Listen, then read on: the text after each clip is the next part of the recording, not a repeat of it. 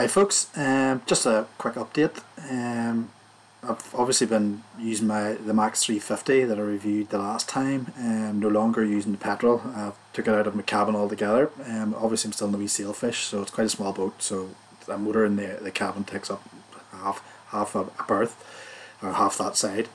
Um, I have received the Elejoy 400 watt step up solar controller charger. So that was one I mentioned before. Um, basically it's a step up. So my current solar panel is a 100 watt Renogy um, off Amazon. Again, I'll throw the links to all these down below.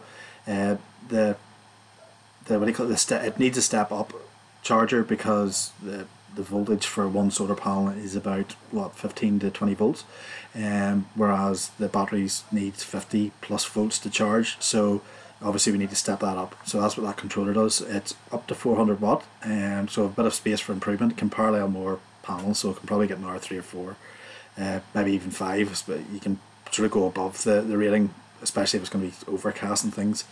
Um, it should potentially then cut off and only ever charge at maximum 400 watts. So the, the thing should you can't overload it. Hopefully, um, you know I guess that that goes to the point that you know solar panels. You think well you need you need constant sunlight. Well they kind of work on overcast days or where the sun's kind of breaking through. It does reduce the ampage, so you kind of need to boost up your panel load if you think if you think you need it.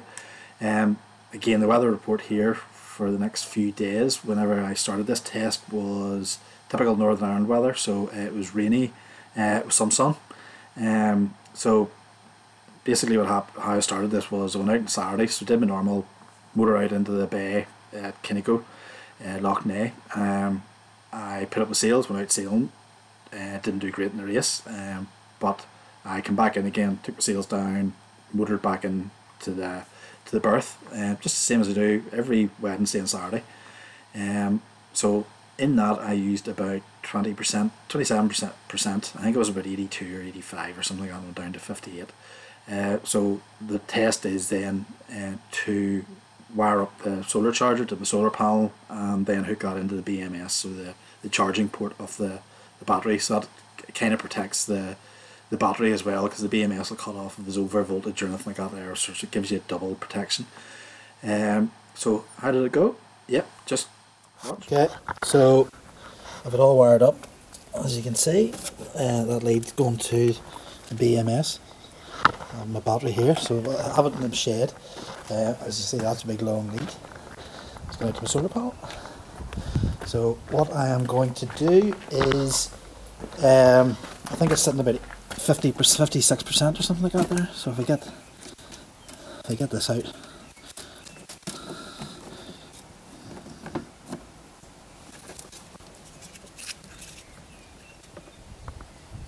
So if you turn it on, 56%, uh, 48.2 volts. So what I want to do is charge it up to 80%. So what I'm going to uh, do is set the controller to 51.5 volts um, which I'll do now. So the connections are a wee bit loose there. So if we say here, so we set the voltage, 50, well, at a very high. So that was actually wrong. I'll, I'll put a wee link to the chart what the voltage should be. Okay, so there we are. So we've 51.5 volts and it's currently charging half an amp. Um, as I say, it's not very sunny, leave it overcast. Uh, but yeah, the panels seem to be generating anyway. It's a Renogy 100 watt. Um, again, you'd expect max the max power to be about what 17 volts. Uh, suppose about four or five amp. Uh, but yeah, we're getting the outputs half an amp. Um, so if we sort of think 50 amp hour battery, it would technically take 100 hours um, at this rate. But what I'll do is I'll leave it sitting running and we'll come back and check later. Um, I'll see, see what we're up to voltage wise. So a nice sunny morning.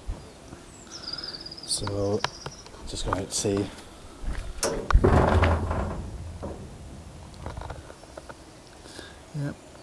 Still fast.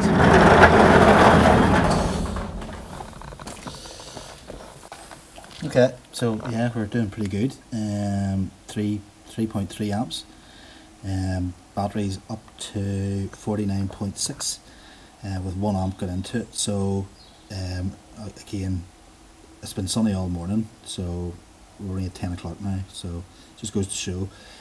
Um, during the summer, obviously we've longer days, so you can get quite a bit of sun. Um, again, it's not direct sunlight, so I think you could probably get a bit more power out of that as well. I'll do a calculation and see what that actually is. Uh, again, the challenge is to get it to 80%, so 51.5. Uh, so we do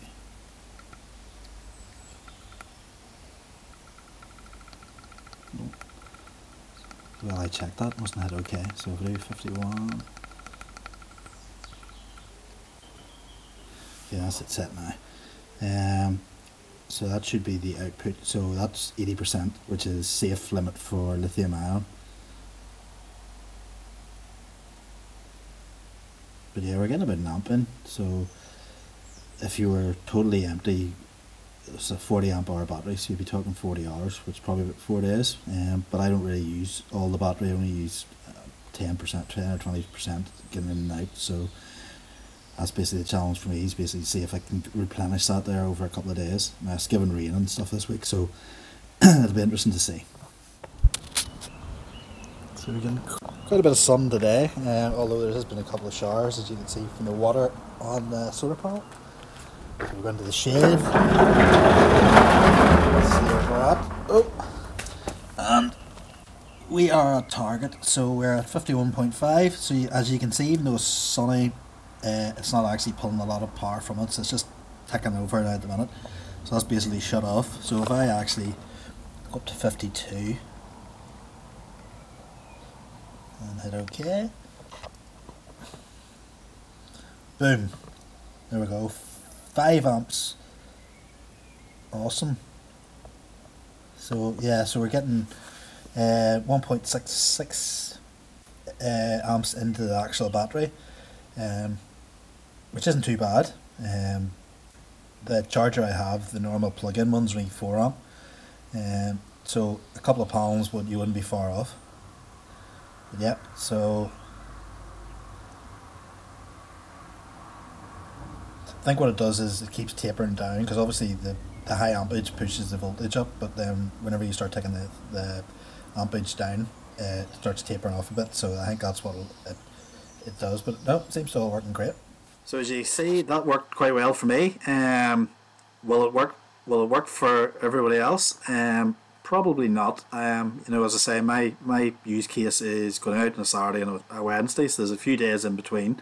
Um, and even then I don't use that much so if I wanted to go for a sail some of the other days I would have a bit of battery left over um, I've actually ordered a 300 watt uh, folding panel uh, from AliExpress as well so um, the hope there is that'll triple triple the, the time so basically that, that experiment I started charging Saturday afternoon and it was finished Tuesday morning so you know if you you could possibly get it replenished in a day which would be ideal um, but again, if you've got a big boat or you need a lot of batteries, you're going to need a lot more power. Now you can obviously scale this up. So this is one 400 watt controller with 100 watt panel.